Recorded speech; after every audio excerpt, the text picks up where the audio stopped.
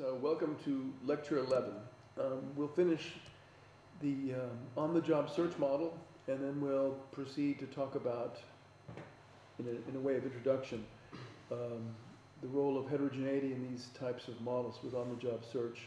So we're getting very close to maybe some, some realistic model and the, the insight you should be getting is the more realistic the model is, the more complicated it is, unfortunately, because this this notion of introducing um, individual decisions in a way that is sustainable in the sense of producing a long run distribution of wages in a way that's consistent with firm behavior, that's in some sense optimal, is difficult. It's really difficult. And everyone knows that search, the, the, the contribution of search theory is to think of the, of the, of the, um, the search relationship or the match relationship as being an, um, an investment decision, accepting a, a match is, is an investment, and, uh, and searching is an investment.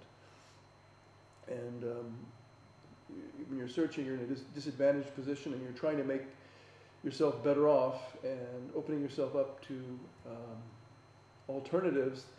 And some alternatives are definitely not, not, leading to an improvement of your situation. Some are. So in this sense, um, when you're working, you're, you're also being exposed to alternatives that are possibly better, possibly worse than you have, uh, the job you have, and knowing about that as an unemployed person is, is really interesting and important. So that, that's the, the, the key introdu- uh, you know, key aspect of, of on-the-job search in the first instance. It affects the, the long-run equilibrium rate of unemployment, even though it's not about offers in unemployment. It's about getting out of unemployment and changing the value of having a job. Uh, the only drawback of this, this, beautiful theory of Burdett and Mortensen is that it produces a wage distribution isn't so great. So today we'll be sort of giving you an idea of how we can get get better get better models. Um, but again, the beauty of this model is really the you know the pure homogeneity of, of workers and firms in the, in the thing. It's, it's just an amazing idea. Um, so we start with um, some general remarks about wages and wage determination, like what I did before, about monopsony and wage posting. Um, we'll uh, think about, we'll rederive what we did last time, so some of this will be repeat, and then we'll actually derive the F in detail, and then show you some of the implications of that for, um, well, for the key fundamental determinants of the distribution and for efficiency. So one of the key un unadvertised aspects of this model is that um, this search model with uh, on-the-job search actually has uh, very little to say about um, about um, efficiency except the fact that the, the, inefficiency comes from the frictions. So getting rid of getting rid of the um, of the lower bound implied by the reservation level of, of, of, utility for workers can actually shift the entire distribution. So that means that, you know, if you introduce a minimum wage, it doesn't really have any efficiency implications in this model. Okay, just basically, it, it kind of strengthens the worker's uh, fallback position and ends up giving more surplus to the workers. Okay, so some people use this as a as a, as, and the reason for that is that the, the, wage posting model obviously is, is a little bit like a monopsony model. The firms post a wage, the workers accept it or, or reject it, and in the, in the Robinson monopsony model, the, the workers um, rejecting it just enjoy leisure and, and, with perfect certainty, and here the workers could reject it with the prospect of getting something better. But it's very similar except um, we know that in the monopsony model of Robinson, there's, there's um, inefficiency of monopsony power, and getting rid of that is also an improvement in efficiency. So moving to the competitive outcome is a great thing, in everyone's opinion who's not a, a corporate uh, um, shill. so we think that, uh, but in this case it's different. I mean, pushing up the, it's like pushing up B would be um, just giving the workers more more of the share of the pie, even though the workers are at a disadvantage, maybe because of the frictions. The frictions generate the, the distribution uh, between the firm and the worker in this model. Okay, so let's, let's talk about last time quickly. We, we, we did what we'll do in detail today. We, we showed, reminded you how the job search model with on-the-job search, or the search model with on-the-job search transforms um, the offered wage distribution into an observed distribution, and it's really important that you understand the logic behind that. It's a, uh, it gives rise to a functional equation that links uh, G to F, and it links it at every point in the distribution using the definition of a cumulative distribution. Okay, so all wages paying up to W, you have some inflows, you have some outflows, and in equilibrium those have to be equal for the distribution to be stable, and that has to be true for all W on the support. Okay, so that, that is a really neat way of, of deriving, a, and it's a great, it's a, something that's going to help us later, um, sort of doing the causality between, uh, between F and G implied by this particular model. And I, and I wanted to mention again that this is all about a certain way of, of thinking about how the, the pie gets distributed because when workers and firms meet, only then can you actually have something happen, and it's a one zero. No, no let's do 50 50, um, or let's produce half of the productivity. You're going to want to produce the entire productivity of the match because um, the friction implies that if you break up, you're going to have to start from scratch. You have nothing, and you're, you're wasting time doing nothing, searching. Um, so if you're together, there's going to be, you're going to go to the max. It's a zero one, we produce it full productivity, and there is no marginalism in this model. Okay, so um, that means that whoever sets the wage actually has a lot of power. So the firm is posting the wage, the firm, you know, gets to dictate under what conditions the worker will turn away.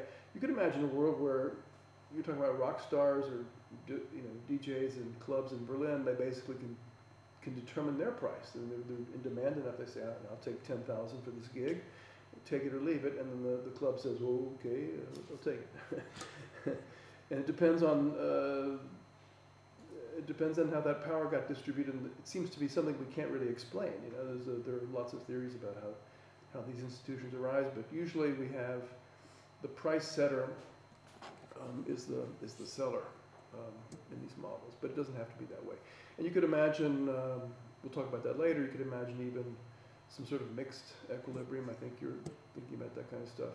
Uh, but we're going to stick to the wage posting because it seems to be what we observe. So the the empirical data on this, um, there are some there's uh, interesting work on it's been going on for years actually on asking what firms do. I think the late Alan Krueger was also involved in this. Uh, Orley Ashenfelter, uh, the, if you ask firms, how do your wages get set? Most of them say we just call it the wage. We have a wage schedule. Maybe unions are involved in, in Germany, but there's still like a wage schedule. So the worker shows up, there's a, there's a, there's a potential match, and the worker just gets faced with this wage offer. Truman Bewley in the, United, in the United States did a comprehensive survey of, of employers and found the same thing. So it's, it's really crazy for us economists to think of the competitive model as being the only paradigm out there. Okay, a lot of people say, well, we have union models, but that's also a very, very biased way of looking at it because the unions have all the power, and that's also not true. Maybe you have some sort of bargain. In, in reality, it seems to be that the firms are calling the wage, and workers are uh, exploiting whatever mobility they have to, to avoid bad offers. And the equilibrium we discussed already will be implying a very atomistic behavior of, of the firms and the workers. So you you have only very local monopsony power. The firm calls out a wage, um, and the firm could enjoy a profit. So the firms could come together across the distribution and start a, an employers association. They could raise the wage. It's a different model. It's not in this model. You can write down the profit maximization problem for a an employers association.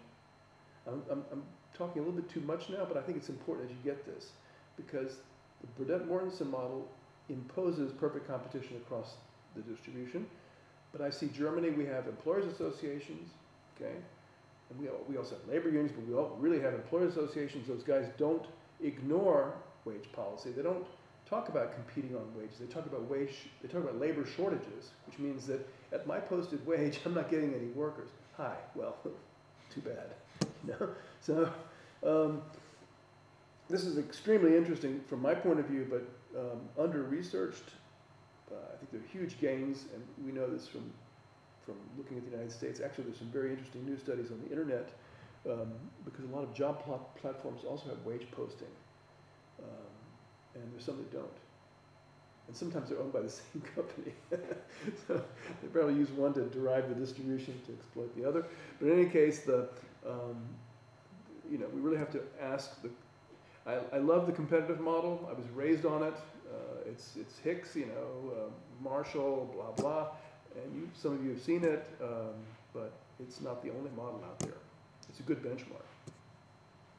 And the reason is, of course, and we'll see this in this, in this Burdett Mortensen case, is that uh, it can explain the diamond paradox. If we have unemployment that's search related, then it doesn't, it seems to be a puzzle that we even have a non degenerate distribution of observed wages because as information gets out there, firms learn, and if in the case we consider the, the, uh, the level of income in, um, or the, the pecuniary value of unemployment uh, without a job for the worker is B, if, if, that, if this gets out and B is the same across workers, then firms will just post B and they'll get all the surplus. So that's kind of the, I mean, there's no reason, even if they don't collude, they would do that because they know the workers have B as their best alternative unemployment. Um, and you know that if alpha 0 is equal to alpha 1, then this is an outcome of the model, right? So, I mean, Diamond didn't work with Burdett Mortensen, um, but he got the he got the Nobel Prize with Dan Mortensen. So it's as if they were communicating, but Diamond was like 20 years before, or something like that, uh, thinking about this issue. Uh, and Diamond was thinking about a general wage price posting problem. It wasn't really necessarily labor, right? Okay, so long introduction. You get the get the picture. Um, we last time we cursorily derived a continuous time setup as we have been for the past few weeks. Uh, we derived the reservation wage um, under the assumption that the worker knows that the worker can get a job and get even a, a continue to have access to job offers while working, and this rate of arrival can be equal to or less than or greater than the arrival rate when you're unemployed. And that's, a, that's an important uh, point. And the key innovation is that when workers uh, receive those uh, offers, they receive from the same wage distribution as before. So it's kind of assuming that the wor worker's sort of options are determined by her own attributes and not some sort of um, maybe some sort of discrimination or I mean those are our attributes, but it's it's kind of it's the worker's thing, and workers are all the same, so it shouldn't be um, it shouldn't be contingent on the worker's history, for example. And of course, the un unemployed accept and reject, but the employed workers can reject, but it has no consequence. Right? It doesn't matter if, if you're working and you get a, a job offer that's lousy, you can just ignore it. Whereas in the the precursor model, as an introduction, which I think is also kind of interesting. You can get a wage reduction and you can still accept it because you know, you're, maybe you're 60 years old and um, you know, as productive as you used to be, but it's better than being unemployed, so you, you take the wage cut. We see this in the, in the world actually, but um, also for professors. Um, uh, but in this model, it doesn't matter. Okay, so you just you just ignore it. And doing that, we gave us the the ability to derive, which we'll now do, um, this observed distribution, which is the only datum we have. We don't have any data on offers. We try to get people to talk about them, but people forget. You know, I I got some offers and I just can't even remember right? uh, that sort of thing. But the distribution, we can get it from the Social Security data. We can survey workers that are working. Say, hey, what are you earning? I mean, if you don't know what you're earning, you're kind of stupid. So it's it's easy to get this one. So we have to infer F from, uh, from G. So we need a theory to do that. Yeah. So in this model, the productivity of the worker is given and fixed and doesn't change, right? Mm -hmm. Okay. Right. It doesn't it doesn't change on the job either. That's a that's the next section of this course. We talk about the some ideas of, of uh, an evolving match productivity. Mm -hmm. So I meet this great firm and we come together and that's one interpretation, or we uh, the firm learns about me that I'm actually a pretty good worker. I just didn't show it in the interview, so you can, you can have that sort of thing. So that's a different interpretation of the whole wage profile. Remember, in this model, the wage profile is positive within a tenured uh, employment spell because you keep getting bombarded with these wage offers, and some of them are actually attractive. Okay, and in this model, you, if you accept them, you've moved up the wage ladder. So again, that's the interpretation that it's a single firm and not a changing firm thing. So the model is, is, intentionally ambiguous on, on that. And it is possible to interpret the point on the distribution as being a firm. So getting a higher wage means you're kind of, uh, um, you know, you're, you're, if, if, if you're a lot of people earning your wage, that means you're at a, at a, at a big firm that has a wage post that's maybe um, high enough to attract and not high enough to, to be unprofitable, but within firm distributions, we, we don't have this model. You have a question? Okay. So this is, this is the, uh, the logic, right? And then today, we're gonna go into detail how to get the, how to get the F going. Because we've shown how F leads to G, but to do it properly in a general equilibrium type of sense, we'd wanna actually go from G to F with minimalist assumptions. So let's just go through the math a little bit. A little, um, given F, we have this equality uh, implication for, of, of inflows and outflows, and it's pretty easy to understand that if you if you enter from unemployment, you can enter at any place across the, the distribution conditional on getting the offer, and that would be the inflow. And the outflow, of course, you can leave um, your position in the CDF. That is, you can earn your position in the mass or your, your membership in the mass of employment of workers earning no more than W if uh, you get sacked involuntarily with, with rate lambda, or if you get a job offer that pulls you out of the distribution below W and puts you in the higher point. Okay, so that's just an inflow outflow. That's the whole logic of, of what we do today and in general, the whole since the beginning of the course, Pissarides model. Okay, so we can solve for G because it's kind of a separable setup. Your distribution in, uh, in work does not, is not affected by your, your offer distribution by assumption. So you, have this, you can actually solve for G and you get this beautiful formula.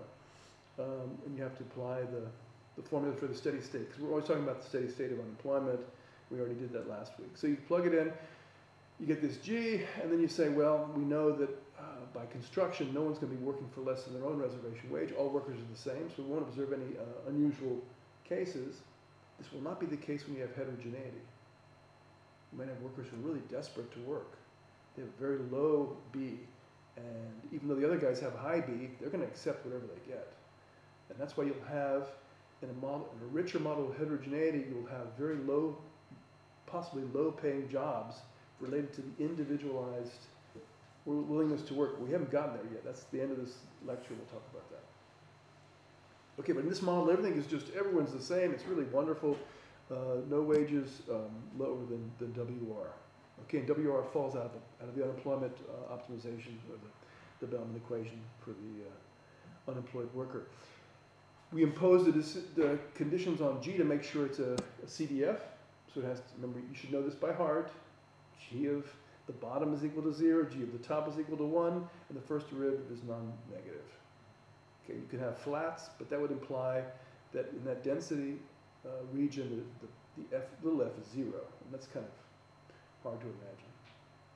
Think of little f as the, the rate of change of, of big G, of big F, or little g is the rate of change of big G as you move through the, the support. The only, the only really key stuff in, in this model um, that, drives it basically is, are these arrival rates, right? You have this arrival rate for unemployed people and arrival rate for, for people in work, and that, that you can think of lots of economic reasons that might be the case, right? There's a, there's a theory of, um, of ranking. Uh, I think Blanchard and, uh, and Diamond actually worked on this uh, in the 1990s or 2000s. Um, the idea that if you're unemployed, you sort of have a, you have a brand on your head that says, oh, you're kind of different. Some reason you're unemployed. Uh, and it's true. I mean, we don't know why you lost your job. You might have lost your job because of a, of a bankruptcy, or you might have lost your job because you misbehaved. And if you misbehave, the employer doesn't want to have you. That's the, that's the theory. so this model kind of admits something like that. If you're in unemployment, you have this brand, and as soon as you get out of the unemployment uh, pool, you, you lose the brand. You lose the, the mark on your forehead or on your, on your, somewhere else on your body. And then you basically, um, you can go through different possibilities, and we, we started with this really easy one, which is that the, there is no, dis, there's no discrimination in terms of offer rates. The, the wage distribution is the same, so we can derive directly this G, beautiful formula. It's related to the incidence rate, it's, um, which is common, and the separation rate. So it looks a little bit like our friend before, right? Um, now we're going to use that in this particular simple case just to derive the offer distribution. So again, I'm kind of repeating what I did, but I'm going to go into more detail and explain a bit more, and then we'll see how this gives us an ability to reverse engineer everything we've, we've discussed as being potentially relevant, especially the shape of the, the wage distributions. So we're going to use, we'll use G that is implied by F to get back at F. So if we have two equations and two, uh, two functional equations and two functions, we could have a shot at finding the answer. Remember, this is really a special model in my view because we only have two frictions in this case. We have three frictions if we allow for different arrival rates, but here we have a common arrival rate. Okay, so think of, again, we've, we've done this already. I um, just repeat myself. Under the case of equality, we have the reservation wage is equal to the, the value of uh, time, um, the, the, the, flow, the pecuniary value of, uh, to the worker, and then you can derive explicitly these, uh, these inflows and outflows. Now we're going to go back and think about what a firm would consider those implications.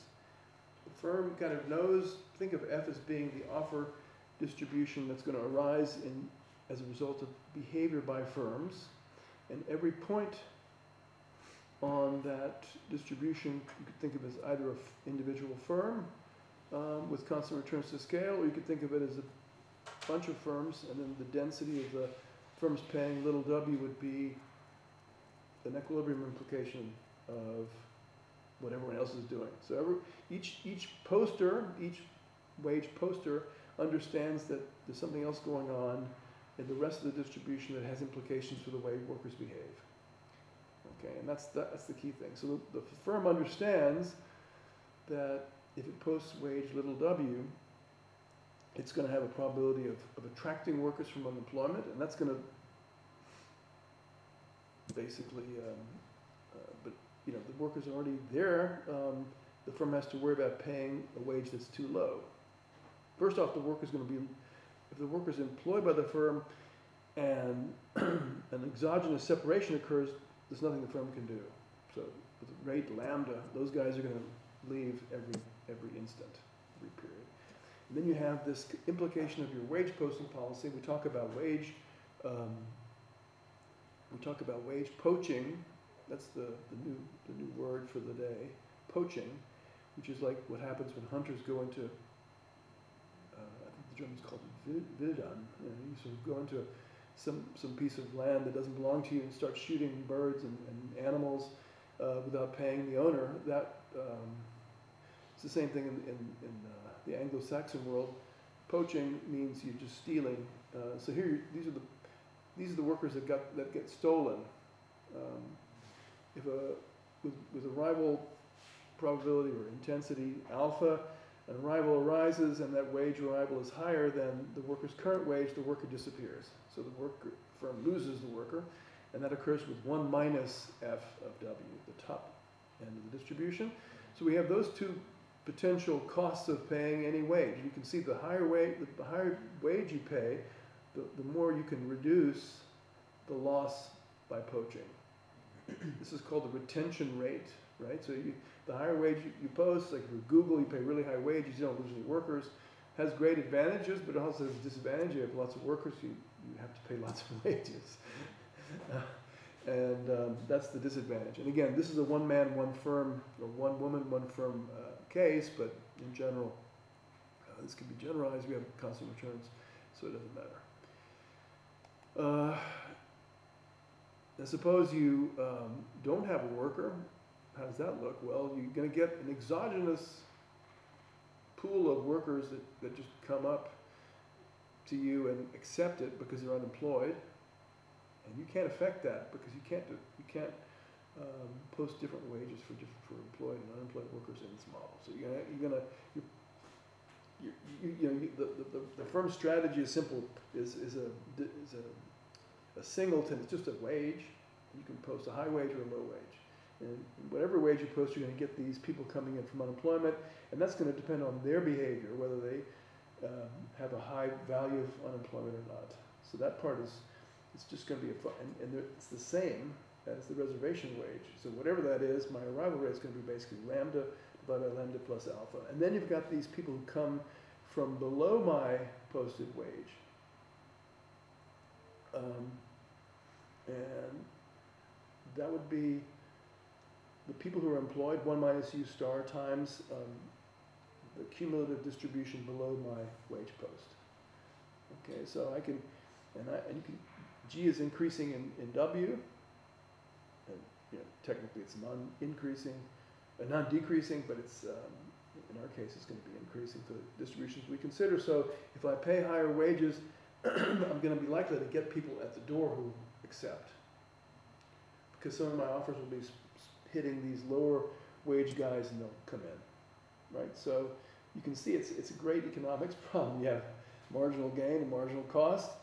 Uh, everybody knows pay, firms don't like to pay high wages because it hurts their profits, and this is just works fine. But the worker, the firm knows that paying high wages can increase its um, retention probability, and also increase its ac- its acquisition, its poaching ability. So this is the this is the poaching. The second term of this this uh, second line is the poaching, the massive or the, the flow of poachings, successful poaching efforts uh, that result. Okay, so you know we use the definition of U star again, and then just plug it in, so we can write the, the probability of getting a worker is again a, a nice elegant expression. We'll use that in a second. Now, a firm is now considering entering. This is this is how you derive the distributions. You're you're at an entry point. You haven't you don't have anything. You have a you have the decision to take which W do I post with all the consequences, positive and negative, including getting someone in the door in the first place. When I just post the wage, I don't have any worker. So you have to do it this properly. If you already have a worker, we'll derive the profits, and then we'll derive the profits for not having a worker, and then we'll take some, uh, we'll impose some, some indifference conditions on that. So let's, to get the, the, the expected profits without having anyone on hand, you need to find out what is the value of having someone in hand, and then we'll apply the probability of getting that worker in the first, in the first period. So if you conditional on having a worker, we use the geometric sum formula, okay, because I have the worker, so I can only lose the worker, and then I have to have nothing. Um, so calculating this um, is pretty straightforward. We use beta as a discount factor. You get paid at the end of the period. Remember, there's a little bit of tension here because the firm is is acting in discrete time, and, and our model assumes continuous time for the worker, but it doesn't matter. It just makes it a little bit easier to play with. Okay? Because in the end, the strategy space for the firm is simply posting a wage and not changing it. It's just, a, I'm going to be a high paid, I'm going to be a high wage firm or employer, or I'm going to be a low wage employer. So think of the first period, you think of the period of conditional on getting uh, the worker, and if I lose the worker, I have nothing, so I have zero to start from scratch. Okay, so you can, it's just a very trivial um, PDV calculation. And why is it approximately? Well, there's, a, there's always the issues of, of little r and products of, of R and other, other small numbers. So it's, we'll just take that as a, as a, as a start, as the, as the approximation from the, the position of having, uh, profit that I expect to have, hold, having the worker in hand. And if I'm now entering, I've got a, I've, I've got no worker, so I have nothing. Um, I could have productivity Y if I did have a worker, so I have to have the probability of finding the worker and then the times the expected profitability with that worker from that, from the of that period, um, going on, going forward. Okay, so it's straightforward enough.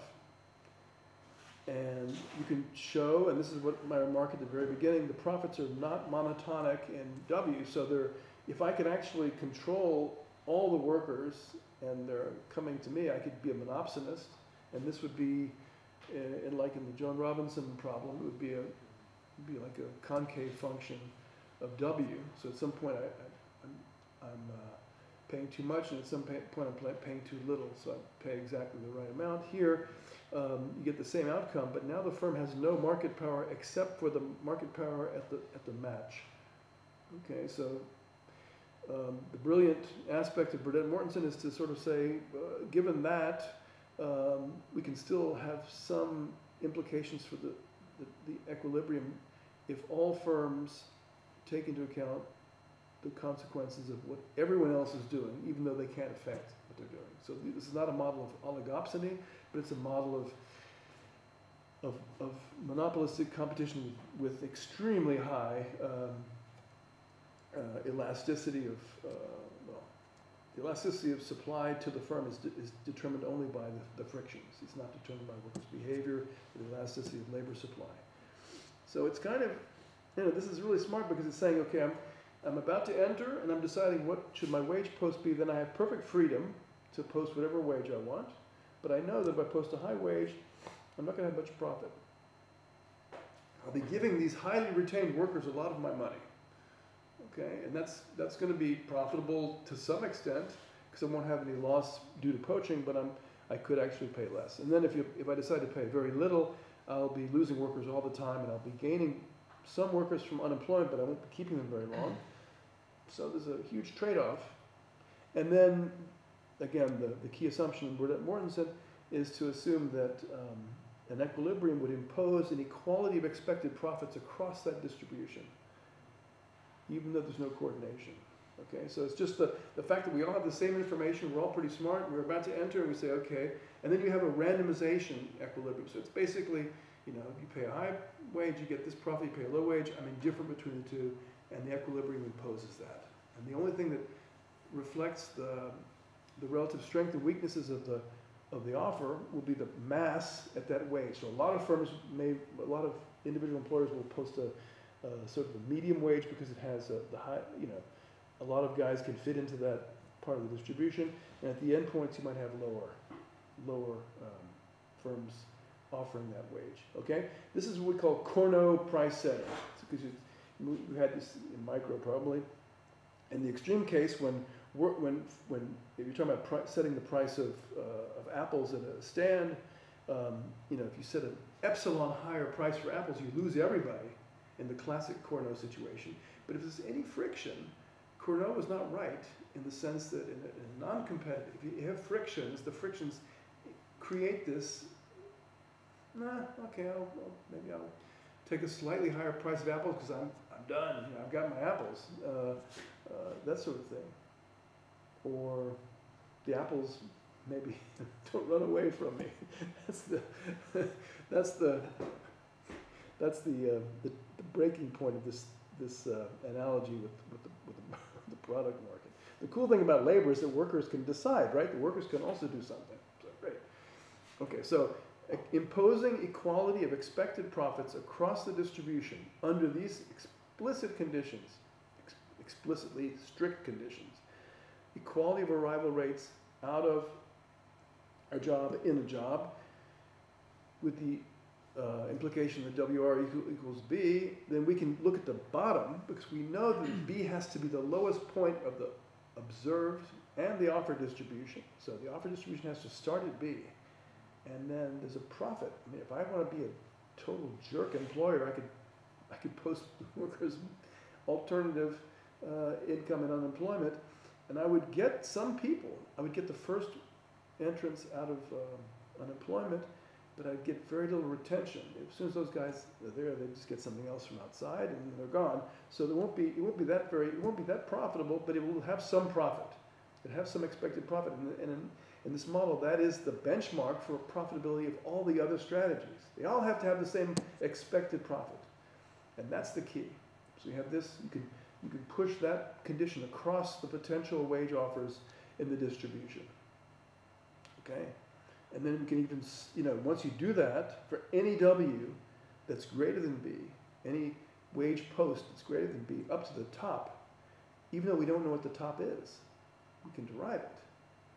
Okay, so the first thing is we have this, this indifference condition for indifference meaning um, equal profit, equal zero um, excess profit um, condition for the firm wage offer, and then we can solve for F.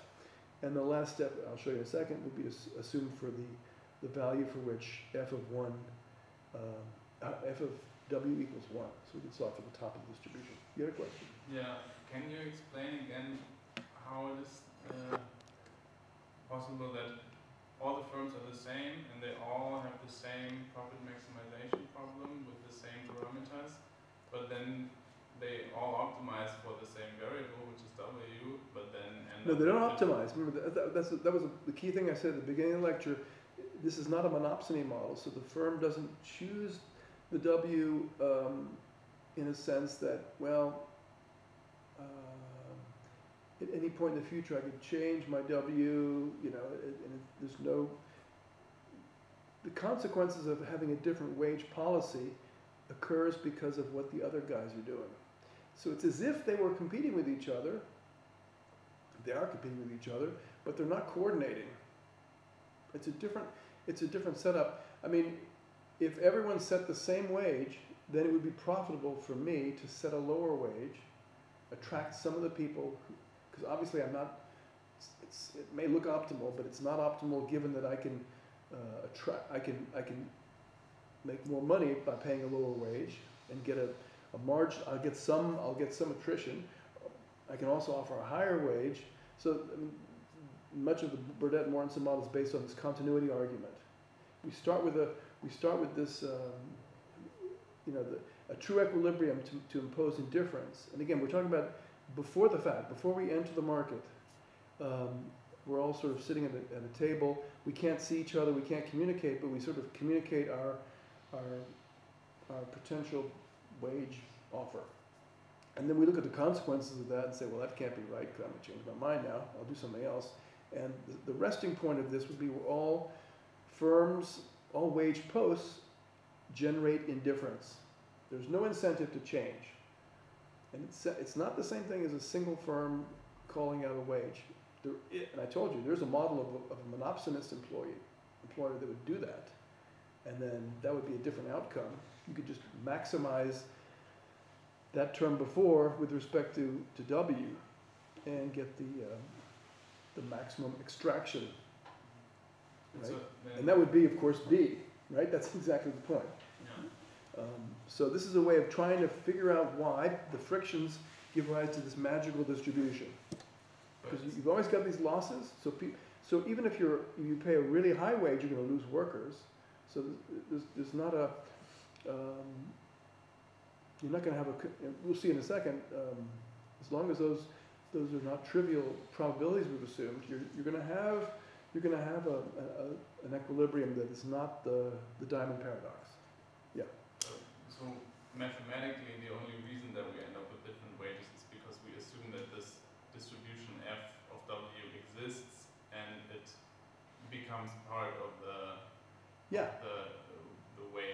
So we kind of we don't really it's, it's, it's explain how f rises. We, we No, say it's there and it influences the wage that each firm.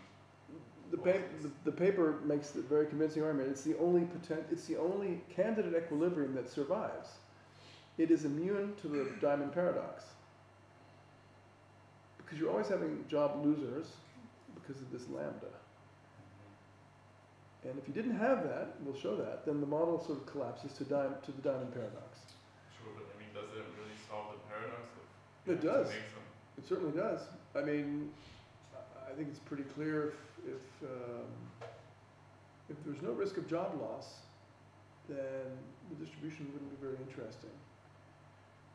Um, And job loss can also just be losing a worker for retirement reasons. I mean, in the real world, you lose workers because of the demographic of your firm, so you always have to replace people. And you also lose people because your firm goes out of business, or your enterprise goes out of business, your, your plan goes out of business. Okay, I think it's convincing. you can convince yourself. I think, I mean, um, it's, it's really considered, uh, but again, the irony is that it took so long for this paper to be published. I've never figured that out, why it took ten years to publish this paper. Um, it's a legend. And I remember seeing it when it came out as a working paper. And I said, oh, this is uh, really interesting, but I, did, I didn't, uh, it just kind of floored me to find out that it took so long. It was rejected in many journals. Yeah. Uh, I just find it uh, really hard to believe why it's optimal for a firm, like for the sake only of making higher profit, to boasting to boast like a, a wage below uh, this reservation wage or like so little wage. But you don't have that yet. We, we don't have it yet. In this setup, they're equal. I mean, they're, they're, there's the lowest post is equal to B. Okay. Okay, and that's and, and I actually say that here. Yeah, yeah. Just like. But you can you can change the model because it's just simply because the firm knows that a worker is desperate because in the case of alpha one greater than alpha zero, then getting into the into into a job has a really it just opens up this new vista of offers. So it's got to be more valuable than sitting on your can and searching. what I mean, like. If, As an unemployed person. Yeah, it's just like if we have like two firms situation, one is posting the this B and one the posting is a little bit higher than B, then a worker with that already has this B is indifferent. So I might think that he would apply to the higher paying job, higher paying firm. There's no application in this model. It's, it's, remember, the, the arrival probability is like a, it's like this vulture just coming in and grabbing, uh, you know, grabbing the worker and giving them a, a, an op- option, and the allocation of these, these birds are, is, is completely random. it's, it's lambda, it's, it's, it's, it's the, you call it a friction, call it whatever you want, but it's just this sort of, or the, the, the, the Calvo fairy, you know, in macro, we have this crazy Calvo fairy, it's the same idea, it's just some sort of random incidents, um, and if you want to get into the micro micro of that, it's, it's, it's really tricky because every effort by a firm um, to make an offer to somebody has implications that are very complicated. Um, and we have heterogeneity within firms. You know, that also creates problems. So, you can- you know, creates jealousy. That's one reason why firms like to have very, very, tra- I mean, well, not always true. I mean, if you want to have different wage uh, policies for different, for different workers, you want to make it probably intransparent. You don't want workers to know about it. So I know there are companies that, that forbid their workers from talking to each other about, about pay. Of course, how do you enforce that? Uh, but if you, if you do it on social media, you, you get into trouble. But, um, yeah, so it, it, again, labor economics has really been enriched by this, this model. We have to, have to think really hard about the, about the uh, implications. It's not, it's not perfect, but um, please read the paper. I mean, it's a hard read, and I, I promised you something I didn't do yet, which is a translation table, because they use different notation. It's a bit, it's a bit worse. It's a bit uh, troublesome. I mean, they were the original paper, so you say, well, why don't we use their notation? Well, the fact is, the literature's moved on, and I, I really like this paper by Shimer, uh, Robert, uh, Rogers and Shimer, right? And it's basically, uh, it's, it sets a lot of symbols for me in the whole course. I've, I've, so if you want to, you want to go back and read the original paper, um, and one of the things that, that Mortensen, uh, Burdett and Mortensen do is that they, they normalize um, A0 and A1 because they're both constants. So you can express it in terms of one and a ratio of those two. So they have another crazy symbol in there that just, it's the intensity differential between the arrival rates.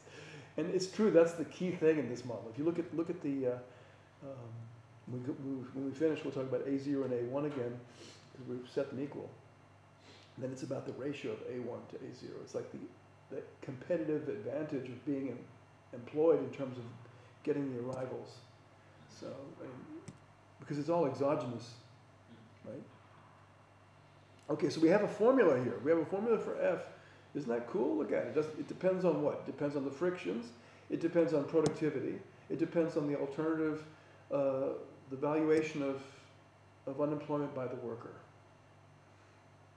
Okay, so that's, that's, it's still not quite there yet because we need to have a, to make this a genuine CDF. What do we need? Three things.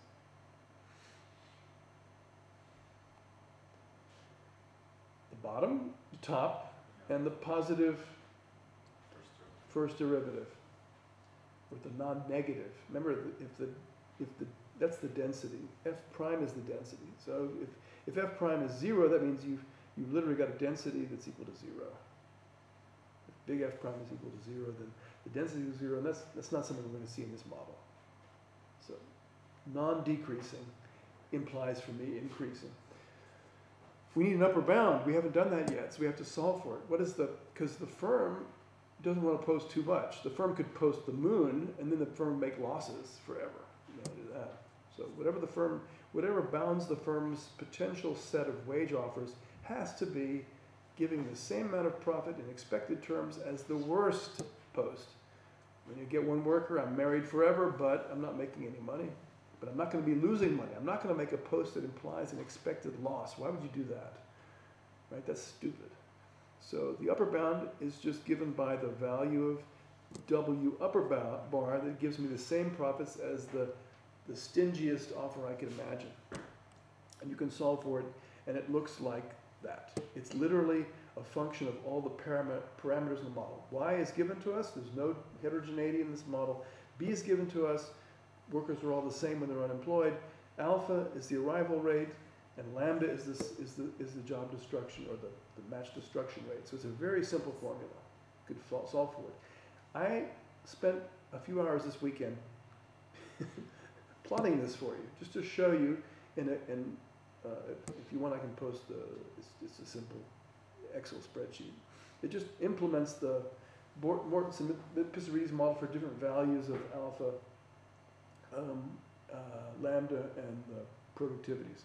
So you can see that um, indeed the the offer distribution, and again, this is using using the parameters of the model to derive an F, and using the F to derive a G. So this JF and the G are consistent with each other. Okay, they imply by the same theory. They're completely endogenous, and they arise as a function of what I've assumed for lambda, alpha, B, and Y. And you can see it looks pretty cool, doesn't it? I mean, first off, we have stochastic dominance, right? So G stochastically dominates um, first order F. You see that F is uh, not a trivial distribution. I I could put more curvature on that if I want, but it's it's it look. But does that look like? Hmm, does that look like anything we see in, in the data? Well, um, no. so so G, uh, if, if I go if I go to the, the, the Nuremberg and spend some time in Nuremberg and get the um, the data on the hourly wage that are paid to German workers, male and female, I don't get something that looks like that. Okay, so that's kind of a, uh, but then again, the world is not perfect, perfectly homo- homo- homogeneous. So I infer, although I love this model, it's not going to be enough to generate, and this is, an, this is a, something that we realized uh, 20, 25 years ago, but it's a start. Frictions combined with sufficient heterogeneity are enough to give us what we, we observe in Nuremberg. It's, you can estimate it.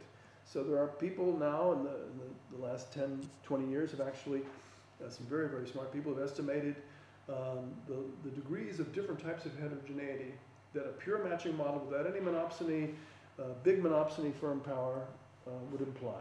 And then of course there are laws that, that have some and or have firms that have positive mass, etc. So, you know, this is just a, again, just to get you excited about this. Uh,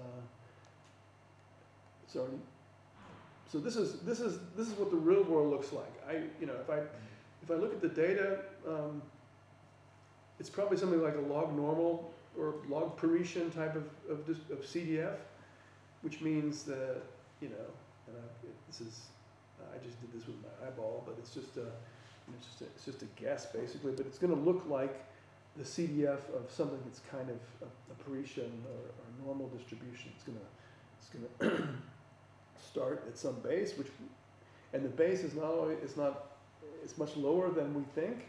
So there are people who are kind of desperate. Think of a mini jobber, you know, working in building maintenance, uh, legally, still, probably not a great wage.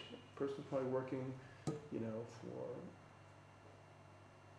I mean, now we have a minimum wage in Germany, but it, you know, before that it was like three hour, three euros an hour, four euros an hour. You can see it. It's, the, it's in the data. These are people who are paying social security contributions for that. There are people who are illegally working, they're paying less than that. They're getting paid less than that. Okay, but it's gonna look like this, it's gonna have a, a slow, um, rate of increase, and it's gonna r- rise very fast where the, the, the mass of the distribution is, and then there aren't many people earning a lot of money at the top. So that might be, have to do with the scarcity of productivity or, or, um, other things. Okay, it could also have, and, and, you know, again, we'll, we'll explain, the model is, is so rich already. Um, uh, we can, if we can observe this, we can back out, um, some sort of offer distribution that is consistent with G, and then we can ask what kind of productivity or utility and unemployment uh, could generate those distributions, that distribution we observe. And you also have to remember the, the labor market is, is not a, a, a one bathtub. Some people are in one bathtub by, by virtue of their age. You can't change your age. You can't change your, your race. So this is discrimination we, don't like, but if it does exist, it's going to lead to a different bathtub, right? Because you can't change that. Maybe gender related, so there might be gender discrimination. All these things will lead to different bathtubs, lead to different unemployment rates. So this is a proper description of, say, a certain type of job market where there's a little bit intransparency or um, impermeability between the job markets. That's the proper way of doing it. And of course, we've assumed all that away. Okay, but that's but that's life. Life is full of heterogeneity. Okay. So that's a comment on, on that. So the, the, the, the, next part of, of the course will be trying to maybe pierce that, that veil and try to find out what, what type of heterogeneity, and this model is very clear, there are only two types of heterogeneity that come into question. Um, one is related to productivity of the match, and the other is related to um, utility, and when I say productivity of match, I, I mean productivity of the worker. You could even introduce productivity of the match as a, as some sort of um, interaction of the two, but here the model would imply the worker um, has a high productivity or low productivity, or the worker has a high value of um, unemployment or not. And that would give rise to a, already to very interesting uh, potential op, uh, explanations of what we really observe. Okay.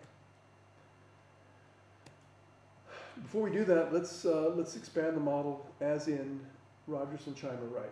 Okay, so uh, uh, actually as in Burdett and Mortensen, because Burdett and Mortensen carry through this to the, to the bitter end, which is to assume that uh, the arrival rates are different. So they could be higher or lower. You could have, see, it in the 1960s and 70s, people said search cannot be an explanation of unemployment because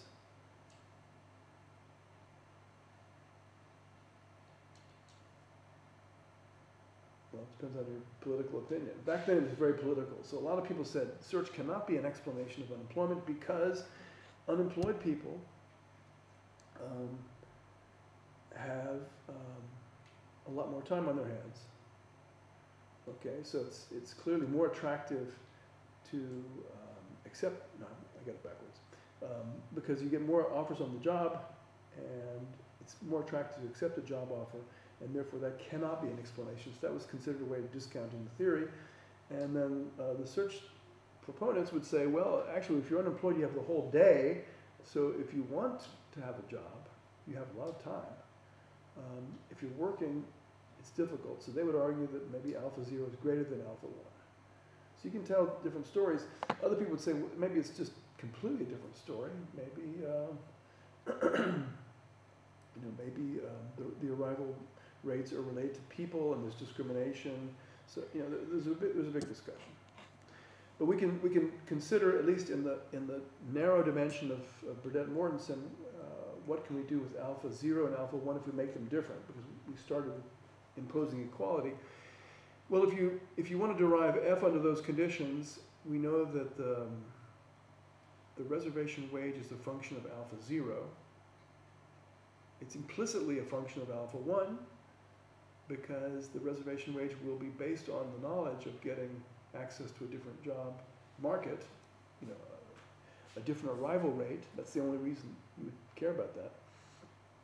We still have this logic that the reservation wage will be strictly greater than B if the arrival rate in unemployment is higher than the arrival rate on the job and vice versa. If you have problems remembering that, just think, you know, why would you accept a a job that pays so little? Well, to get access to more job offers. Would imply a reservation wage below, below B.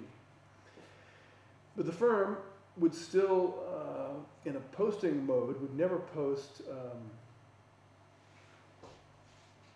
it would never post a wage in an equilibrium that's less than B because an arrival for a worker in a job already that's less than B would be, would be rejected immediately. So I mean, you have lots of expected profits if you get a worker a slave, but it's not going to happen. So the firm always pays at least B. Okay, so think about that.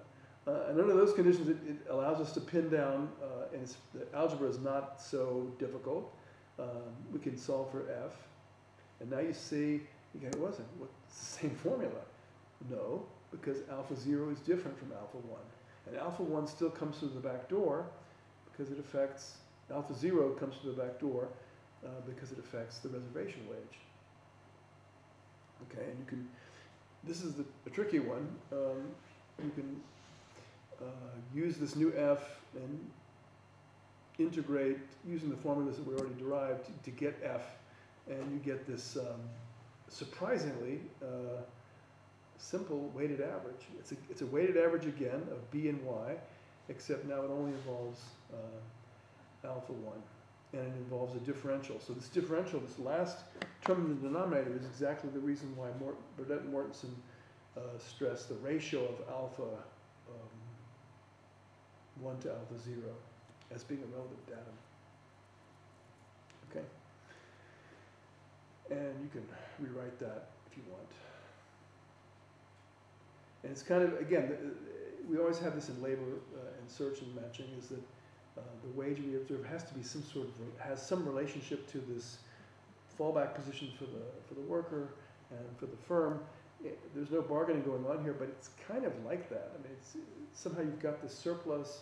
Um, there's no marginal decision in terms of work effort or firm capital investment or whatever. It's just yes or no.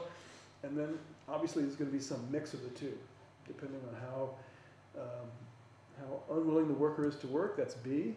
Think of that as you know, some people call that laziness, right? Or some people call that you know enjoying life, work-life balance. and, and Y is how productive is this is this guy, right? So it has to be somewhere in between those two. Yeah. No, I was just, I think uh, I got it, but I was just wondering on the, the values of alpha 0 and alpha 1. So they're between 0 and 1, and if they're 1, then No, it's like infinite. Not, not, not, not the Poisson model. I mean, they can actually, it's, it's, a, it's an intensity for dt, um, but they're always going to be positive. At least we've assumed that they're positive. Mhm. And um, you always have to be careful in interpreting them as a probability because Yeah. of the, the, the, it's for dt. So, but for a small change in time, yeah, you could do, you could do What, that. what value would they have to be so that the friction ceases to exist? That's the next slide. but we already did it kind of intuitively when I did this. Remember, I, I, I, did- I generated this for you. Yeah. So you can see this is just like point one. What does that mean? That I mean, it's a rate, so let's, let's say it's a rate of arrivals per month. Okay, that's just a way of measuring it, but of course, we're letting the period go to smaller than a month. It's, it's really, really small, but if I took a month's worth of that, it would be something like point one, if it's linear, right? It's, So then you would get one offer uh, every ten months or something like that. Well, I like to think of this as like, um, yeah, right. No, it's like whenever, yeah, exactly. If, if, if it's a monthly model, you have to, you have to specify the unit of time. It could be annual, but again, you know, you start thinking about annual, a lot of people get several offers in a year. Yeah. So you, I mean, again, that's the whole Poisson magic is you're, you're, you're measuring it using this unit of time. It's arbitrary, but we, we shrink the, the actual time under, under consideration to a very small change. That's the magic of calculus. Okay, so, um, yeah, so you asked about the, these special cases, but just, let's just let this sink in now. This is all about market friction. The whole course is about market frictions, you know, labor markets with search and matching. So, look at that. The reservation wage only depends on these productivities, these evaluations of time, and the friction. So this is, um, this is kind of the, the solution, one solution to the diamond paradox. Right? And you can see that by letting um, some of the parameters go to different places. So we can always let these Poisson intensities go to zero. We- We don't want to let them equal zero because we've assumed that they're relevant. So we'll just let them get arbitrarily close. If you let alpha one, which is the arrival rate, um, in employment go to zero, that means that once you accept the job, that's it forever. Okay? And the reservation wage is going to be, you know, you're going to be really, if, you know, once you get that offer, you're there forever. So you're going to get, you're going to get more and more choosy. So the reservation wage is going to go very close to the top. You're going to wait for that Bill Gates offer, and someday you might get it. Okay? Um, and the diamond spike um, would imply that firms know this, but the firms know that the worker always only gets B. So as firms learn about this, they're going to start offering B. So the only equilibrium we can have is basically all the firms offer close to B. So that's the spike. That's the diamond paradox. I mean, workers are really look like they're incredibly lazy, but it's not they're lazy. They just they'd like to get this fantastic job, but it's not going to happen in equilibrium because no firm would be stupid enough to pay that. Okay, so I mean it's just not an equilibrium. So it's along the way to that spike, you'd have a lot of mass very very close to B. So that would be like the United States. um, that's a very bad joke. Okay. So on the other hand, you can imagine alpha one getting really high. So once you get into a job, you just get it loaded up. So um, the disappearance of the relative other friction would be that everybody uh, knows that's going to happen. So I'm gonna, you know, I'm Is that like perfect information? yeah, it's the competitive, the competitive outcome. So workers, it's like giving workers a whole lot of power. And it's one of the reasons, in my view, that uh, software companies in California make workers sign non-compete agreements to prevent this from happening. Because, um, you know, there's a lot of money out there if you can get the, I mean, these work, these guys, these programmers are very productive, right? So there's a lot of competition for them. Um, and that would be like a, a high alpha one. um, I already told you the biggest drawback is this, this distribution, which is horrible, right? It's, it doesn't look like anything like we see in the data. So we, we kind of want to work at that. But if we know where G comes from, and we know where F comes from, they come from each other, then in some sense, if I know what G is, I can know what F has to look like. What kind of theory can I write down that gives me the F that I need? And there may be many different theories, right? There are many different ways of doing that. Okay, so this is the opens the world of heterogeneous workers and firms and all sorts of other things we could talk about. so I urge you now with this knowledge to go back to Rogerson and Shimer Wright and look at it again and uh, think about. Um, but if you really like this, you should go and look at Burdett Mortensen, right? Just to understand how they do it. I'm going to give you the, the, the broad brush strokes right now. Okay. So heterogeneity has to be part of the story, meaning that either workers have heterogeneous valuations of leisure, firms are the same, but the firms kind of can see that if they post a very low uh, wage, they may, uh, they'll, they'll still get some workers, but those are the workers who are kind of uh, desperate. They have, when I say desperate, it means that they, they don't have the work-life balance. They really just a workaholic type, so they don't have any valuation of leisure. You can put all sorts of judgments on it, or you can just say, um, you, you know, who wants to do that anyway? Who wants to put a judgment on it? Just some people like to work, some people le- like to work less. so that will give us that will give us what we want. on the other hand, you can also assume that firms um, just di- have different productivities. The workers know that. The firms know the workers know that. And everybody wants to work at Microsoft. Everyone wants to work at Google. Nobody wants to work at, at, at Zalando. no, actually, they do want to work at Zalando. They don't want to work at, uh, at, at my Lehrstuhl.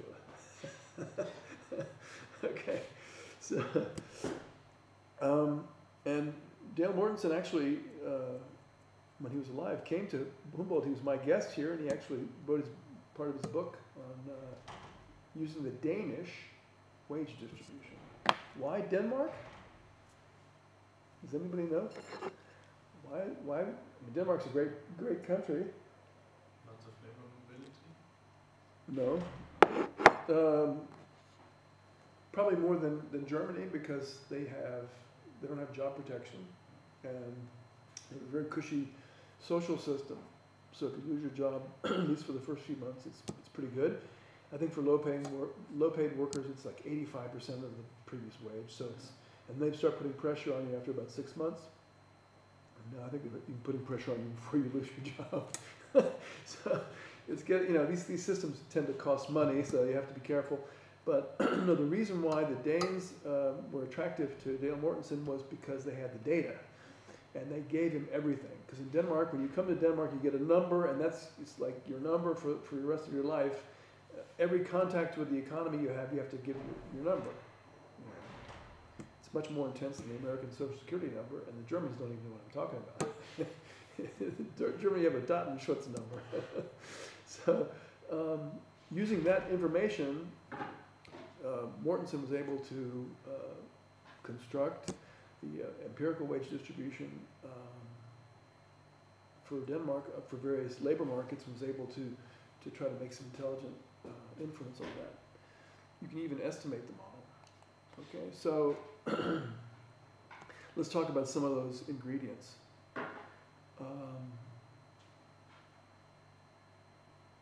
so we're going to potential dimensions of heterogeneity. Already talked about Y and B. Um, the original paper, uh, Burdett and Mortensen spent more time and, and were able to do more with the uh, with the latter. Um, we'll start with that first, and then we can talk about some of the progress that's been made in recent in recent years. so we'll start with B. Um, B is not income and unemployment. It's income and unemployment plus the monetary valuation of everything else you do with your free time, including work at home, with your family, taking care of loved ones.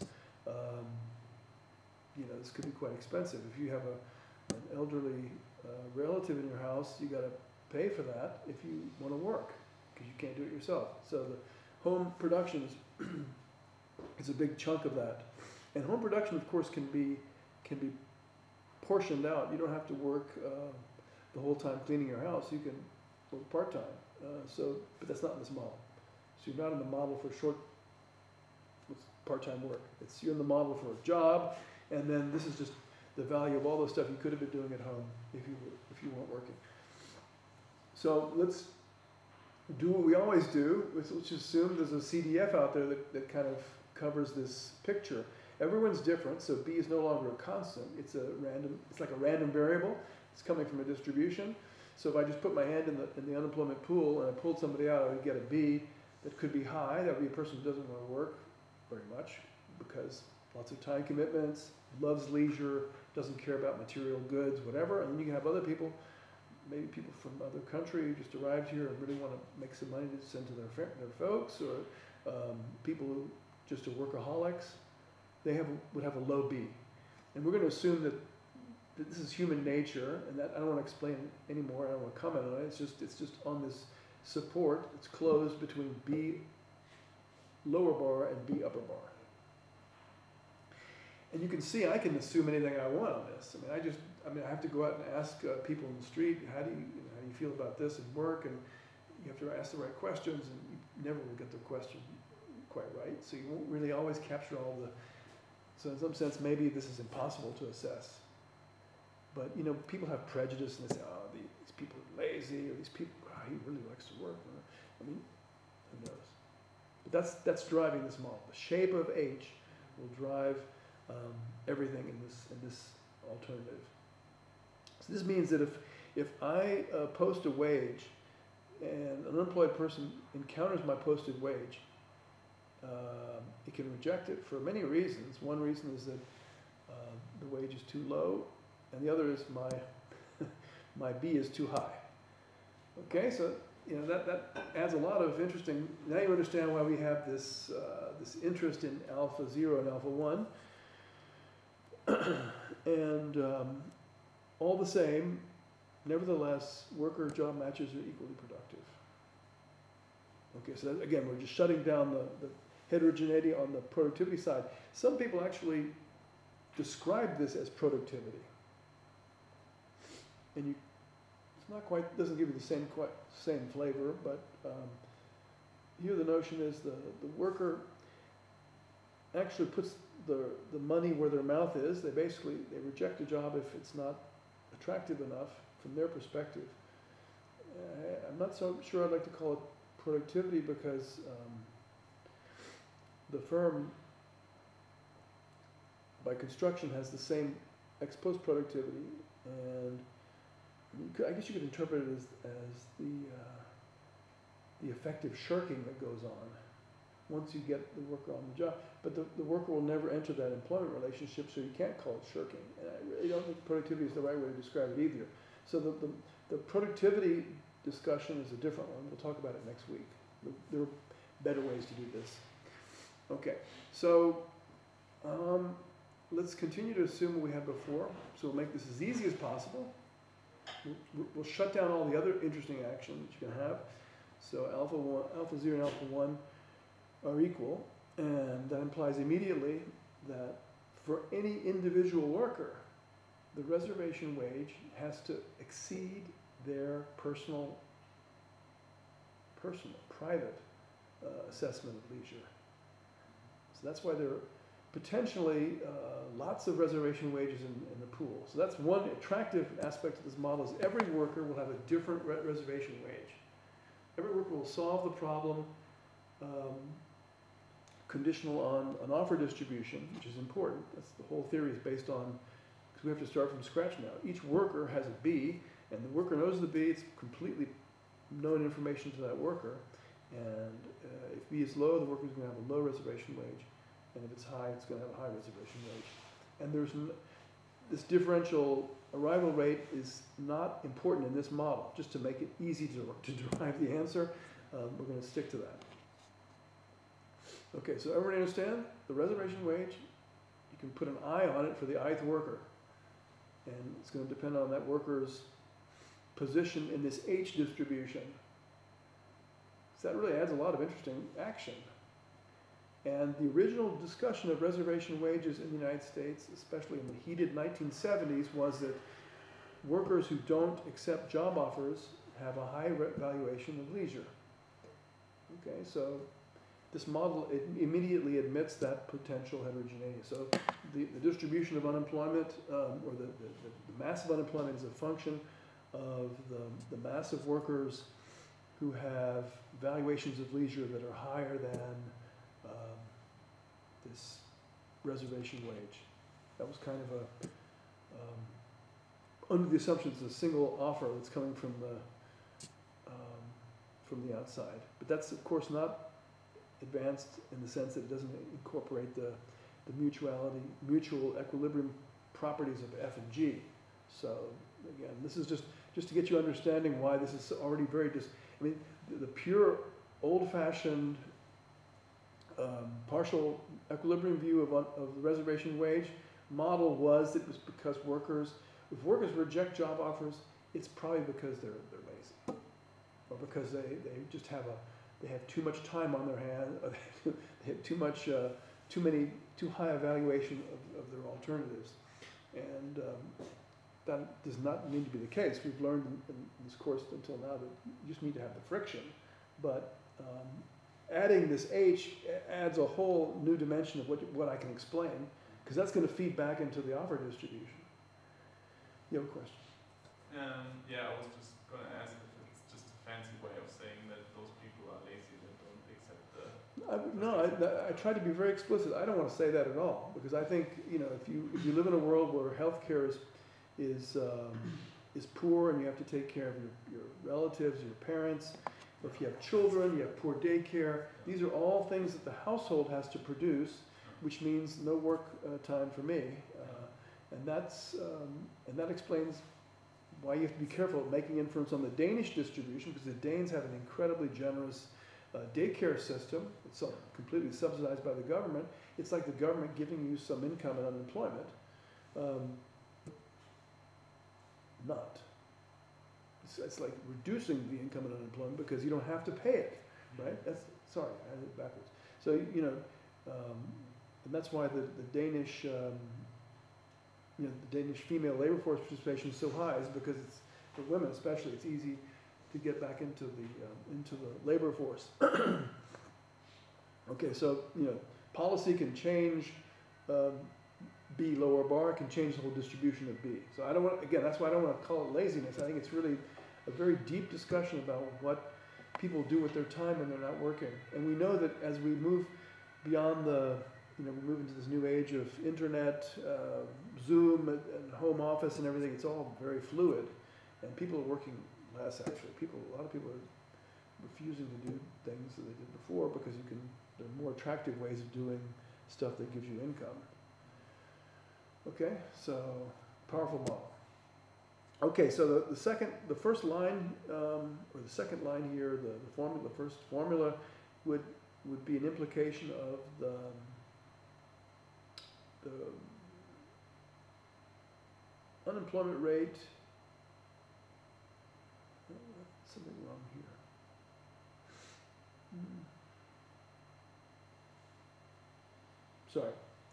This is, this is a, an important formula that I'll explain next time, which is the mass of unemployed people that are willing to accept a wage offer that is less than or equal to um, W, given that the wage offer distribution out there that the workers understand is F.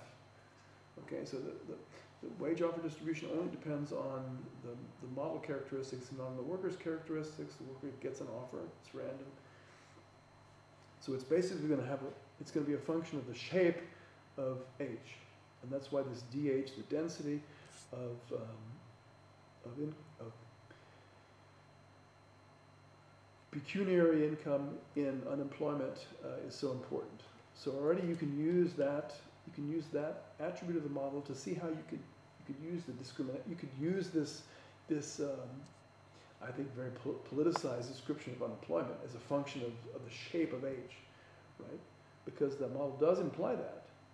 Um, and each, to understand the logic is, is really intuitive, I think. You know, each worker is like Lucas said, you're unemployed, you have an asset, unemployment, and if you get an offer, you can turn it down or you can accept it.